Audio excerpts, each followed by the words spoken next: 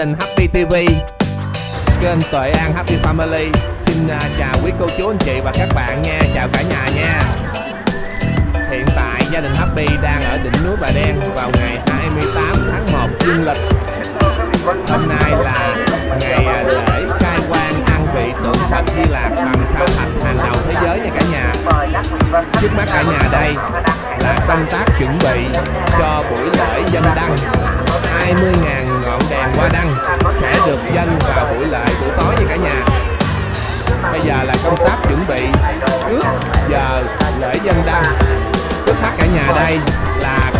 Viết thư pháp nha cả nhà ơi. Wow, rất là đông người đến để nhờ à, viết thư pháp nè. Viết ra à, những à, nguyện ước thật là đẹp. Và lên à, qua, qua đăng giờ cho mình nha cả nhà. Khu vực này là hoàn toàn miễn phí nha cả nhà. Vào thứ bảy hàng tuần trong tháng chạp đều có lễ dân đăng. Cả nhà nhớ tham dự nha. Rồi bây giờ là khu vực để chuẩn bị 20.000 đèn hoa đăng cả nhà thấy nè. Khu vực này là khu vực à, 20 ngọn đèn hoa đăng. Rất là nhiều du khách rất là nhiều phật tử đến để mà thỉnh đèn hoa đăng để viết ra lời nguyện cầu cho mình nha cả nhà. Wow! Công nhận là đông kinh khủng khiếp. Lần đầu tiên buổi lễ diễn ra rất là hoành tráng rất là đông à, người đến dự cho cả nhà được thông báo là đông, lớn, chưa từng có. Ở trên đỉnh núi nha cả nhà ơi. Rất là nhộn nhịp nè. Wow. Đó, mẹ Happy đang lấy à, qua đăng cùng với Happy ở dưới nha cả nhà. Khu vực này là wow. Khu vực này là chụp hình check in rất là đẹp. Bây giờ ba Happy đang đứng ở phía sau chia sẻ một cái góc nhìn rộng cho cả nhà cùng xem nha.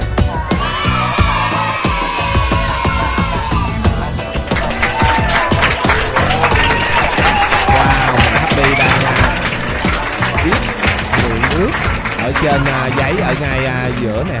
Nó đang viết. Mẹ Happy thỉnh là ba ngọn đèn cho Happy, cho à, mẹ Happy và cho ba Happy nha.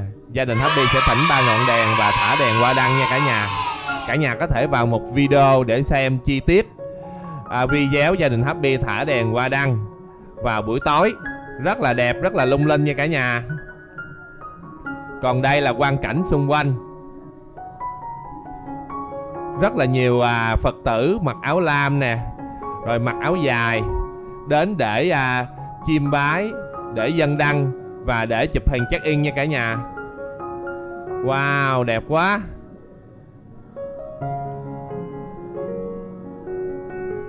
Wow.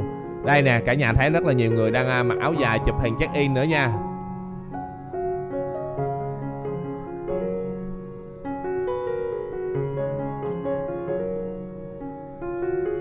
Ngay à, cái khu vực à, bên hông cái cây rất là nhiều du khách đang à, nhận đăng ngồi hóng mát à, giải trí ngồi à, đợi cái khung giờ à, để mà làm lễ dân đăng nha cả nhà.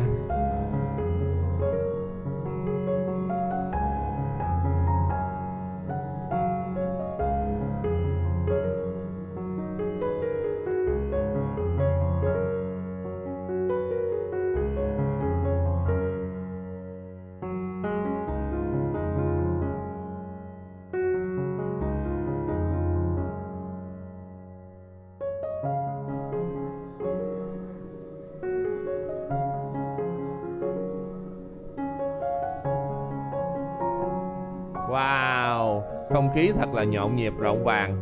Cảm giác giống như là ngày Tết sắp về rồi nha cả nhà ơi.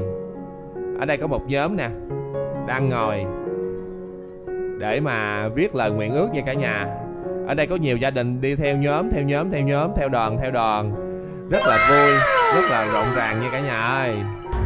Từ cái góc này á, đại cảnh nhìn rất là đẹp nha cả nhà nhìn lên nè. Tượng Phật Bà Tây Bổ Đà Sơn. Phía bên trái cả nhà thấy là hoàng hôn đang xuống nha. Gia đình Happy đang quay hình ở đây là tầm 5 giờ nha cả nhà. Lúc này là hoàng hôn đang xuống. Rất là đẹp, ánh nắng màu vàng. Người ta gọi là khung giờ vàng, ánh sáng vàng rất đẹp nha cả nhà ơi. Khung giờ lý tưởng để cả nhà có thể đến là vào buổi sáng. Và vào buổi chiều thì có nắng vàng rất là đẹp, rất là bình minh và hoàng hôn. Nhưng mà mọi người hãy nói là hoàng hôn là đẹp hơn. Tại vì cái nắng vàng hoàng hôn á, rất là tuyệt vời nha cả nhà. Nó làm cho mình đẹp lung linh trong ánh ánh nắng.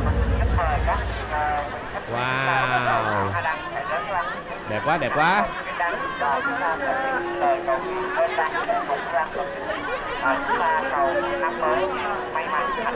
Rồi bây giờ là cận cảnh nè. Khu vực à, nhận đèn hoa đăng. Lần đầu tiên thả đèn hoa đăng ở đỉnh núi Bà Đen và 20.000 ngọn đèn hoa đăng tương ứng là hơn 20.000 người đến dự như cả nhà. Một con số kinh khủng khiếp. Ngoài ra còn có các cơ quan báo chí các cơ quan à, nhà nước và các à, à, du khách ở khắp nơi tề tụ về nữa nên số lượng sẽ còn nhiều hơn nữa. Có rất là nhiều bạn tiktok rất là nhiều bạn youtube và rất là nhiều các kênh truyền thống các kênh thông tin khác nhau về để đưa tin về sự kiện lớn chưa từng có này nha cả nhà. Quá tuyệt vời luôn quá tuyệt vời luôn. Wow. Cả nhà thấy đó bên cạnh là viết uh, à, hoa đăng để uh, ước nguyện những điều may mắn đầu năm thấy cũng có nhiều nhóm là gia đình để chụp hình check in kỷ niệm để tạo một cái dấu ấn gia đình ấm cúng bên nhau cả nhà. Wow, rất là dễ thương nha.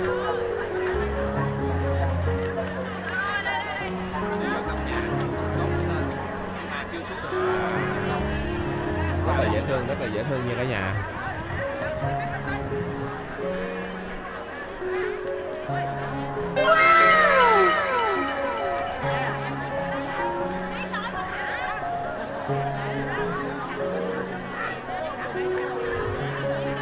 Không khí ở trên đỉnh núi hiện tại là rất là mát rất là thoáng như cả nhà. Không khí à, mát lạnh như ở trên Đà Lạt như cả nhà. Lưu ý cả nhà nếu mà mình lên đỉnh núi vào buổi chiều tối nhớ mang theo nhiều áo khoác. Mình có thể mang theo cả khăn tròn cổ nữa thì vừa chụp hình đẹp vừa quay hình đẹp mà vừa giữ ấm nữa sẽ không bị thay đổi không khí nhiều sẽ không bị à, dễ bị cảm nhập vô nha cả nhà ơi.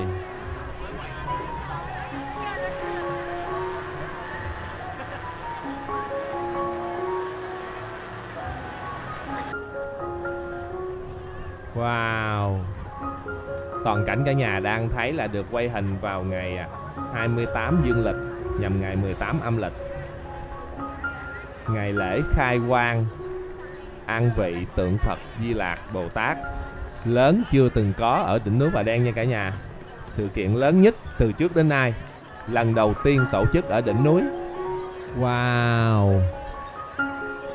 Trước mắt cả nhà Bây giờ rất là đông quý Phật tử, rất là đông à, quý à, quan khách đang à, tề tụ về đây nha. Khu vực này, cả nhà thấy, có rất là nhiều phóng viên, rất là nhiều tiktoker, nhiều bạn youtube đang quay hình nữa. Rất là nhiều bạn đang chụp hình check in nha. Wow! Hoàng hôn đẹp quá! Cả nhà ơi! May mắn gia đình happy đã ghi được cái đoạn hoàng hôn ghi được video này. Vào ngày đại lễ ăn vị tượng Phật Di Lạc hàng đầu thế giới nha. Wow! Trước mắt cả nhà đây là nhà ga cáp treo. Tâm An Nhà ga cáp treo. Dốc nhất thế giới nha cả nhà. Đi xuống chùa Bà. Khu vực cả nhà đang xem là khu vực à, viết thư pháp Để những lời nguyện cầu giúp cho người dân cho phật tử nha cả nhà. Ở đây viết thư pháp hoàn toàn miễn phí nha cả nhà ơi. Chữ thư pháp rất là đẹp rất là nắng nót nha cả nhà. Ở đây có rất là nhiều bạn trẻ viết uh, thư pháp để cầu bình an à, cho người thân cho bản thân cho gia đình cho mọi người. Rồi à, cầu à, gia đạo à, cầu à, à, tài lộc vân vân. Rất là tuyệt vời luôn nha cả nhà. Góc này à, nhìn mặt trời chiếu xuống đẹp quá nha cả nhà ơi. Khu vực xung quanh đây những cái bồn bông xung quanh hình tròn có nhiều cô chú anh chị đang ngồi nghỉ ngơi nha. Xung quanh đó cũng có những chỗ sạc pin nữa nha cả nhà. Cả nhà lưu ý là vẫn có thể sạc pin ở khu vực bồng bông này luôn nha. Rất là tuyệt vời luôn.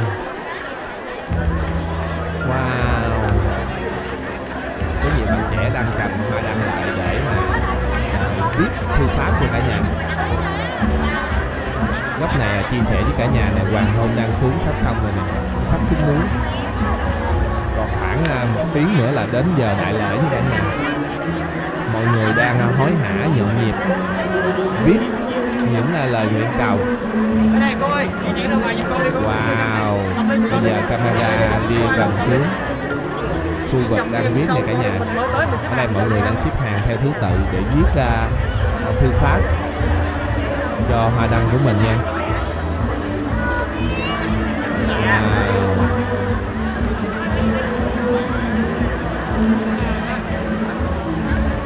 Còn bên này là khu vực à, nhận đăng nhận đăng như cả nhà. Những cái bàn này là để à, set up qua đăng nhận qua đăng của ban tổ chức nha cả nhà ơi đồng thời những cái bàn này có thể là tự tay mình viết những lời nguyện cầu của mình tại đây được luôn. Tức là chia ra hai khu vực, một bên là viết bằng thư pháp là sẽ có người viết giúp. Một bên là tự mình viết. Xung quanh những cái đoạn rộng ra những cái khu gốc cây, cái khu bồng bông mình có nhiều người có thể mang đến đó để mà tự viết lời nguyện cầu của mình luôn nha. Rất là tuyệt vời nha cả nhà. Wow, đẹp quá dân đăng là nét truyền thống ý nghĩa của người Á Đông đặc biệt là người Việt Nam như cả nhà. Vào ngày mùng 1 ngày rằm các ngày vía quan thế âm vía Phật Bồ Tát à, vía à, Phật à, Thích Ca hay là vía Phật à, Di Lạc đều có tổ chức dân đăng và viết lời nguyện cầu của mình kết hợp với ăn chay niệm Phật chia sẻ điều thiện lành đến với mọi người nha cả nhà. Từ bi trí tuệ sáng suốt rất là ý nghĩa. Wow. Bây giờ càng ngày càng đông du khách đến rất là nhiều nha cả nhà. Tại vì sắp tới giờ làm lễ rồi. Bây giờ cả cả nhà thấy là bây giờ rất là nhiều người đến để mà thỉnh qua đăng để mà viết lời nguyện cầu wow. Dân happy đang đi một vòng xung quanh cho cả nhà máy không ngớt luôn nha. Liên tục liên tục liên tục. Biển người, đông kinh khủng ở đây cả nhà thấy có rất là nhiều à, công an đến đây để mà tham gia giữ gìn an ninh trật tự rồi à, giúp cho buổi lễ thành công tốt đẹp nha cả nhà. Có một nhóm các anh công an giao thông mới bước lên. Ở đây có nhiều người đang mặc áo tràng là những người của ban tổ chức đang phân luồng để chia ra. Sắp tới giờ làm lễ nha cả nhà ơi. Wow! Cái thảm đỏ là cái lối vào bên trong đồng thời là lối đi xuống tượng Phật Di Lạc luôn nha cả nhà cái hướng thảm đỏ cả nhà đang nhìn thấy là cái hướng đi vào bên trong và đi xuống. Còn hướng này là bị chặn lăng can lại tức là vẫn đi xuống được nhưng mà chỉ đi tới cái khu vực bên hông của tượng Phật, tượng Phật Di Lạc thôi nha cả nhà. Khi đến giờ sẽ được mở ra và cả nhà sẽ đi xuống dưới đó để tham quan nha cả nhà ơi. Rất là tuyệt vời luôn. Khu vực này có một cái màn hình led siêu khổng lồ được dựng lên để một chút chiếu nữa mọi người sẽ làm lễ nguyện cầu đồng thời xem trực tiếp ở phía bên dưới nha cả nhà. Rất là đông rất là đông người đến xem sẽ có rất là nhiều người không xuống được phải chia ra. Những người đứng ở trên có thể nhận màn hình led để mà xem uh, quá trình diễn ra buổi lễ nha cả nhà. Tượng Phật Bà Tây Bổ Đà Sơn cao 72 m nặng 170 tấn à, cao nhất châu Á ngự trên đỉnh núi đang hướng về hướng đông nha. Thì hôm nay tượng à, Phật Di Lạc cũng sẽ hướng về cùng hướng đó là hướng đông nha cả nhà. Wow đây là một góc chia sẻ chia sẻ với cả nhà. Toàn cảnh phía trước tượng Phật. Và Tây Bổ Đà Sơn vào à, trước giờ chánh lễ của à, lễ khánh thành an vị tượng Phật Di Lạc lớn hàng đầu thế giới nha cả nhà bên hông này, khi đến giờ hành lễ sẽ có thác nước chảy đẹp lắm nha cả nhà ơi. Cái góc từ bên đây nhìn xuống cả nhà thấy wow!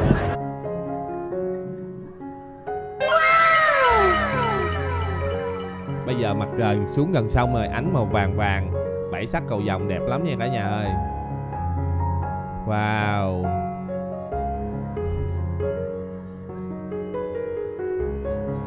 Càng gần đến giờ lễ chánh thì càng đông càng rất là đông luôn nha cả nhà. Đồng thời lưu ý với cả nhà là sau 17 giờ Sẽ giảm giá 50% nha cả nhà. Bây giờ mình chia sẻ một góc cận cảnh. Lúc mà các bạn à, viết thư pháp Thì thư pháp chữ như thế nào chia sẻ với cả nhà này Các bạn đang nắn nót viết chữ thư pháp Cho mọi người nha. Đây là lúc mình quay hình là lúc mà chưa có đông người để mà cho cả nhà thấy được cái nét chữ nha. Như ý. Wow tài đức. An yên hạnh phúc. Đó còn bây giờ là lúc là đông người đến rồi nha cả nhà. Wow khác biệt hoàn toàn nha. Lúc đông người đến bây giờ ship hàng là làm không kịp. Wow, hôm nay có một nhóm rất là ý nghĩa đang ngồi đây để đợi nha cả nhà. Quan hỷ an lạc may mắn. Sáng suốt. Dạ chúc cả nhà thật là nhiều may mắn nha. Ok